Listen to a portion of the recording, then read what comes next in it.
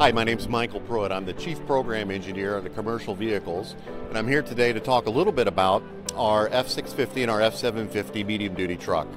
Um, we're really proud to have won the, the, the Truck Magazine Truck of the Year award again this year. So let me talk a little bit about the product.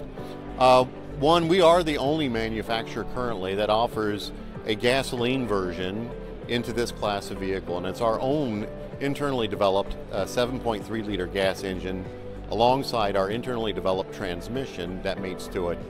So we're really uh, very proud of that. For 23 model year, we brought in a couple of new features. One of them, our fleet customers were asking for us to provide some settings that reduces the ability of the driver to turn off and or desensitize some of those features. So we've offered that as an option for our fleet customers. Uh, we've also made some key features standard, uh, such as power takeoff and electronic stability control. Our F650 medium duty trucks are equipped with available driver assist technologies, all based on our proven Ford Copilot 360 to help you feel comfortable and in control.